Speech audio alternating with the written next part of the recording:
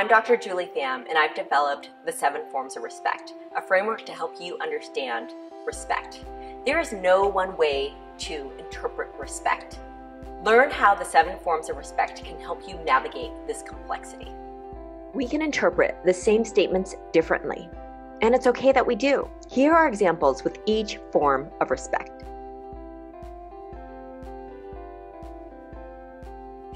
This is how I want you to do the job. I can't believe she's telling me how to do my job.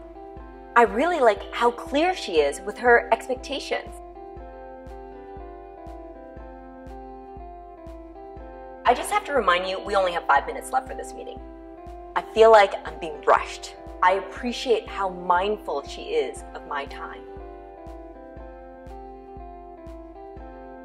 I'm going to copy you on all of the emails so that you know what's going on. I just hate getting all these extra emails. I really appreciate being kept in the loop like this. Have you thought about taking a different approach to this work? I can't believe that she's challenging my work. Who does she think she is? She's so committed to making the process better. I didn't ask you for your help because I know how busy you are and I just didn't want to overwhelm you. I still wanted to be asked, even if I was going to say no. She is so observant about what my needs are. You are doing such an awesome, amazing, great job. Did she expect anything less than great? Why does she have to keep telling me how great I am? I really appreciate how passionate and excited she is about my work.